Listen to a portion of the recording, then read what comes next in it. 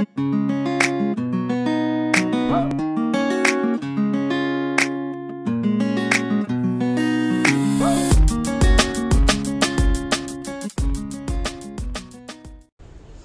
Gemini, welcome back to my channel. This is going to be your love reading for the month of October. And this is going to be for your sun, moon, and rising signs, okay? So. So I got four cards that just jumped out here. Hang tight for me. Get these up. Okay. So first we have passion. A magnetic and seductive quality surrounds you at present. Enjoy it. All right. You're putting out some pheromones out here. All right, Gemini. Then we have acceptance is the key to inner peace. At times, we must accept things as they are. There is no point trying to change that which is beyond our control because we are not in control. The universe is in control. God is in control. Okay? And we have to accept things, you know, as they come to us, as they are, and roll with the punches. Because when we fight against it, mm, we're not going to win, okay? Let's just put it that way. Oh, it's five cards. Okay. And the emotions are a natural and necessary part of life but they can also distort your perception and cloud your vision. In order to see things clearly, you must let go of resentment. Don't hold on to things. That that truly will eat you up. It really will. Emotions are a natural and a necessary part of life. But we have to learn how to balance those emotions. We have to learn how to, you know, take things as they happen to us and um, and let it bounce off of us. You know, and learn from it. If you could do anything, what would it be? The answer dwells in your heart, not in your mind. For the heart is the gateway to the soul. All right. I really like that card. And then we, oh, okay. Twin flames. Your passion ignites. Hmm. So this is possibly a twin flame for you. We'll put that one over there. Wow. Okay. All right.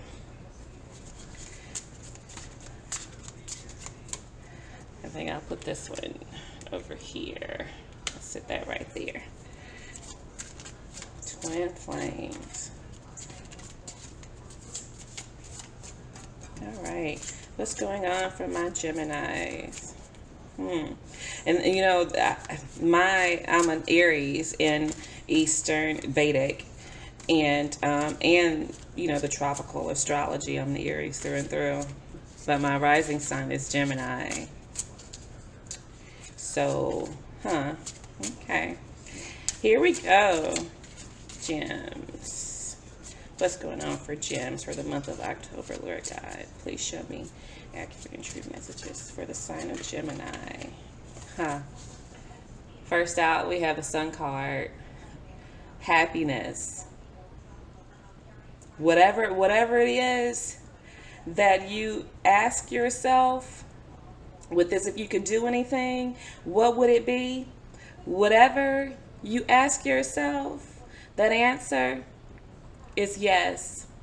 It's a confirmation, it's an affirmation, whatever it is that, excuse me, that you're thinking about doing in your heart. This is a confirmation. That's, that's pure happiness. Pure happiness. Quite possibly a Leo um, that you're dealing with. Oh, and then we have the Wheel of Fortune. We have the Wheel of Fortune. Hmm. Fixed sign here. I think Scorpio, Taurus. Um, I'm not sure what other signs. I really don't like calling out signs, really. But um, the Wheel of Fortune is karmic cycles ending. And of course, when one ends, a new one begins. So you've got some good stuff going on here. You've got some really good stuff going here. And these are sitting on top of passion. A magnetic and seductive quality surrounds you at present. Enjoy it. Hmm. Stand in your power. Go into this cycle with a bang. Staying true to yourself, staying true to your heart, what your soul is calling out for. Mm, this is beautiful. Absolutely beautiful, Geminis. Oh, the world. Wow. Yeah. You know, you have just gone through, this was a major, you know, cycle ending. And you probably have gone through some major transformations here. You, yeah, you've got the Wheel of Fortune and the World right next, in all three of these major arcana. So it's some big shifts happening in your life currently. Some major shifts. Positive. Absolutely positive. I see you standing, you're, you're on cloud nine right now.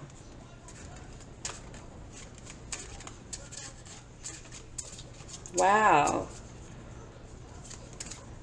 And in this sun card, another card just jumped out while I was talking. You know, you notice that in this sun card, there are two people with a little dog down there. Somebody is truly excited about you. Somebody is passionate about you. and and not passionate like in a sexual way and i'm sure they are sexually attracted to you but i mean passionate about you know being with you when they think about you you know they think great thoughts look at that the knight of wands uh, this is a sagittarius card but this is is an aries leo or sagittarius. Or either you have this this in your chart but the knight of wands you know he is very creative and he he's very energetic you know wants to start things quickly like in a hurry. And this could possibly be your energy where you know you are passionate about starting something new you know you're passionate about something it's sitting right on top of your emotions are a natural and necessary part of life. But they can also distort your perception and cloud your vision. In order to see things clearly you must let go of resentment. So be careful on this journey that you stay balanced and you know you you use your power of discernment and you'll know you'll know you'll feel it because i feel like you have really you know probably gone through the wringer before because this is some major shifts that's happening around you. And you possibly have fire in your chart heavy.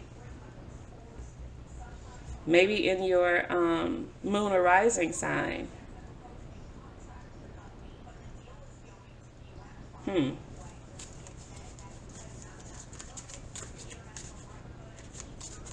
or either you have, um, like I said, a Leo, Aries, or Sagittarius coming in.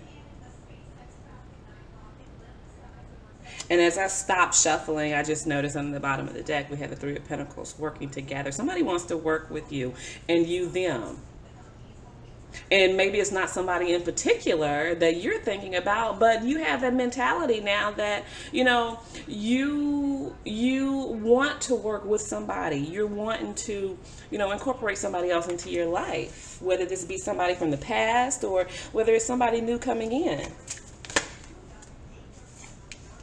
Yeah you've learned some truth. You know. You know what it is that's going to bring in this happiness.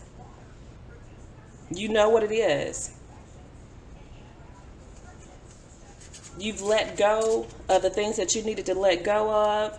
You've learned some truth. You know what it is that you're supposed to do. And that is why this Wheel of Fortune is turning right now. Because you've come out of that point where you were all up in your head, being stuck, being stagnant.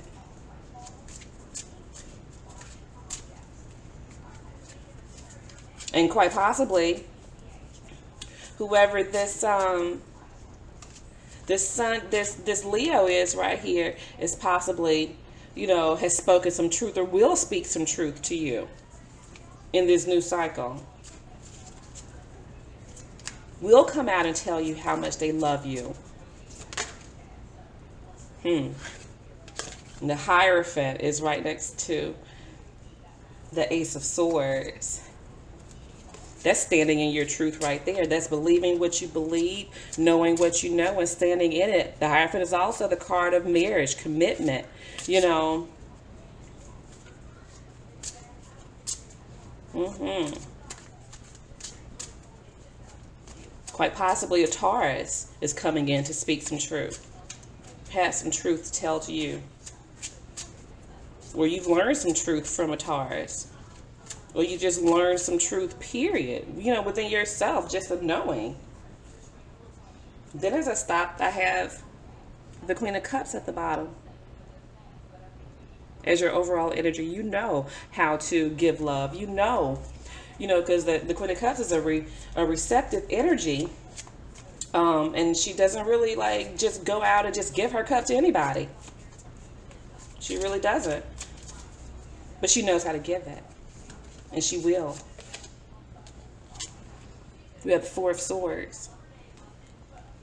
Meditation, resting, kind of, you know, the truth that you know now. You are standing in it, you are thinking about it, you're reflecting, you know, you're you're taking a break to try to or you needing to take a break to try to you know get your your thoughts together what it is that you want to do next what are what are you going to do? And you may be you know after this offer comes in from this taurus or this leo um then you know you may need some time to think about this. Because at this point you're not trying to just jump into things you're needing to kind of take a step back and look at things to see, you know, is this going to benefit me? Not, you know, not selfishly, but like just in protection of yourself, your energy. You know, do should I devote some time to this? Should I invest time in this kind of thing? Six of Wands, yes, you're this is going to be um, a successful uh, venture for you. Whatever it is that you decide here that you're going to do, you're going to have success in it. You're going to you're going to prosper in it. And you're going to make it happen. You're going to make it happen. This is your card here, the magician. You're going to make it happen because the magician has everything that they need. They have all the tools that they need. All they have to do is basically believe it and do it. They make it happen. So whatever it is that you've learned, you're going to take all of that knowledge in, incorporate that, and you're gonna you're gonna move forward successfully. And whatever it is, the, the decision that you make, whatever you decide to do, and then we end with the Eight of Wands. Yeah, you're going to steamroll ahead with that.